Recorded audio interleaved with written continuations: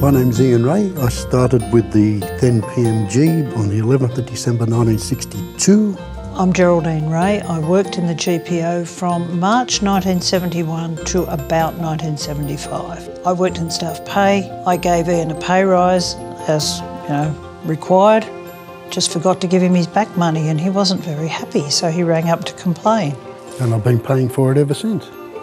40, anyway, 42 years 42 of marriage years and of he's marriage. still paying. The GPO had all sorts of groupings on different floors, do yeah, you remember? Yeah, there was the telegraphist on the fourth and the, A whole the room full of whole room full of people just thumping out telegrams and messages. And then there was another little alcove on the back where they were still typing out in Morse code. It was incredible just to see these blokes just convert dots and dashes to letters and words.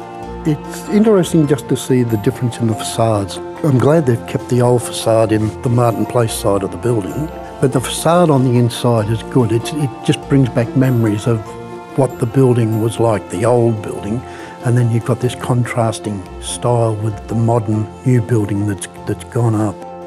I think it's great that it's being cleaned, that the Fullerton Group are actually looking after it because we have this horrible habit in Sydney of knocking down our beautiful old buildings and replacing them with ugly skyscrapers. So it's great that it's being looked after. The building's built over a, a lot of history. Yeah.